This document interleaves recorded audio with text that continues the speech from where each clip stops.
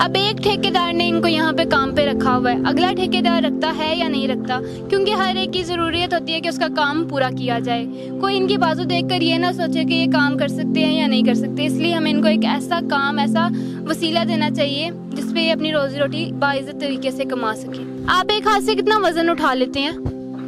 पचास किलो की बोरी जो है उठा लेते हैं दोनों हाथ से। असलकुम नाजरीन मैं हूँ आपकी मेज़बान एमन इसरार।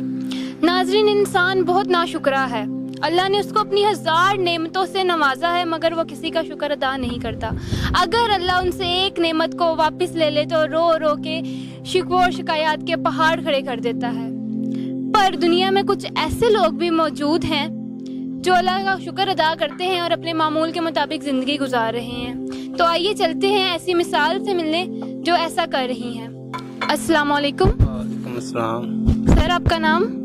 मुश्ताक मुश्ताक साहब ये हादसा कैसे पेश आया और कब पेश आया ये 2015 में आया किस तरह से पेश आया हम ਚਾਰਾ ਕਾਟ ਪੱਠੇ ਕੱਟ ਕੁਤਰਨ ਦਾ ਟੋਕੇ ਦੇ ਵਿੱਚ ਤੇ ਉਹ ਪਤਾ ਨਹੀਂ ਲੱਗਾ ਕਿਹੜੇ ਟਾਈਮ ਕੰਮ ਹੋ ਗਿਆ ਤੇ ਤੁਸੀਂ ਧਿਆਨ ਨਾਲ ਨਹੀਂ ਕਰ ਰਹੇ ਸੀ ਤੁਹਾਡਾ ਕਸੂਰ ਸੀ ਜਾਂ ਮਸ਼ੀਨ ਦਾ ਨਾ ਮੇਰਾ ਕਸੂਰ ਸੀ ਨਾ ਮਸ਼ੀਨ ਦਾ ਵਾ ਧਿਆਨ ਨਾਲ ਕੁਤਰਨ ਦਾ ਪਤਾ ਨਹੀਂ ਲੱਗਾ ਤੋ ਜਦੋਂ ਤੁਹਾਡਾ ਇਹ ਹੱਥ ਕੱਟਿਆ ਗਿਆ ਸੀ ते हॉस्पिटल लेके गई? गया सी कोई? हाँ जी। तो हॉस्पिटल वालों ने क्या कहा था? कुछ भी नहीं उन्होंने दाखिल कर लिया था। तो अब आप क्या काम कर रहे हैं? मजदूरी कर रहे हैं। मजदूरी कर रहे हैं?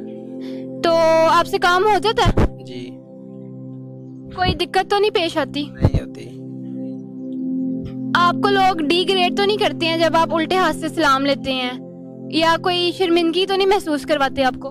नहीं अभी नहीं। अच्छा तो आप जब काम लेने जाते हैं ठेकेदार से वो आपको काम दे देता है? वो ये तो नहीं कहता कि तुमसे काम हो सकेगा या तुम काम कर लोगे? नहीं वो नहीं कहता। मुझे डेढ़ साल हो गया एक ठेकेदार के पास काम करते हुए। इस हादसे के बाद कितनी देर के बाद आपने काम शुरू किया था?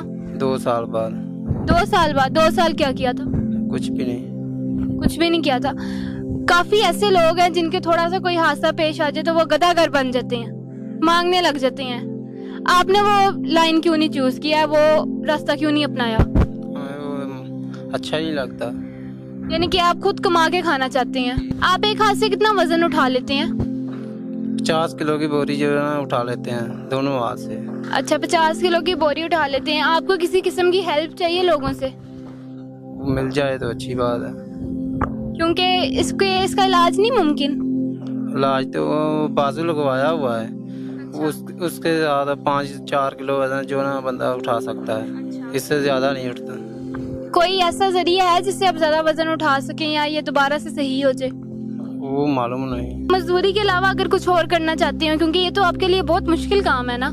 इसके अलावा आप कुछ चाहते हैं कि आपके लिए किया जाए? जी क्या चाहता हूँ। क्या चाहते हैं? कोई भी काम मिल जाए जॉब मिल जाए शॉप मिल जाए जो भी मिल जाए कोई दुकान वगैरह आपको डाल के दे दी जाए जहाँ पे आप बैठ के आराम से काम कर लें अपने एक हाथ के साथ। जी।